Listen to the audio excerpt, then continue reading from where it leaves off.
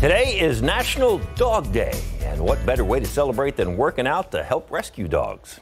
Barbells for Bullies is a nationwide program committed to helping dogs in need, and they do it by hosting fundraiser fitness competitions in cities all across the U.S.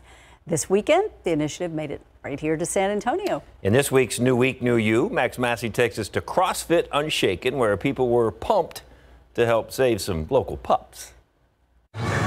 Lifting tossing, and jumping. All for a good cause.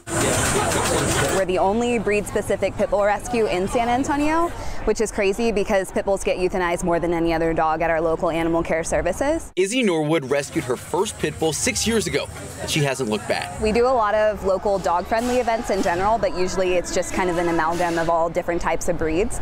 So we were really excited that they were wanting to partner with us just for the bullies because we're rooting for the underdog here. This weekend, CrossFit Unshaken invited athletes, families, and local vendors to work out for a greater purpose. They say Barbells for Bullies is a cause they knew people would would want to help out and one that would be a great motivation to fuel their fitness. It's all about changing stereotypes and stigmas associated with some of these uh, breeds that have been deemed aggressive when all they, they just want to be loved just like us, man. Since the formation of the organization back in 2016, Barbells for Bullies has donated more than $75,000 to local rescues and local initiatives. This weekend's event will help further the effort locally through the Alamo City Pitbull Rescue and Rehab Group, which helps save about 2,000 dogs every year.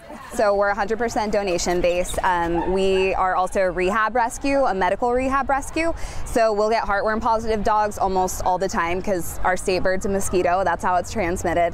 And that's about $900 a pop for heartworm treatment for every dog. Um, we also take dogs that have been hit, mange, emaciation, abuse cases. So that money goes a long way. This is an extremely important event for Alamo City Pitbull, but the goal doesn't end today. There are still so many ways that you can help out. We need people to be willing to open up up their homes in order to save more dogs because the more fosters we have, the more lives we can save.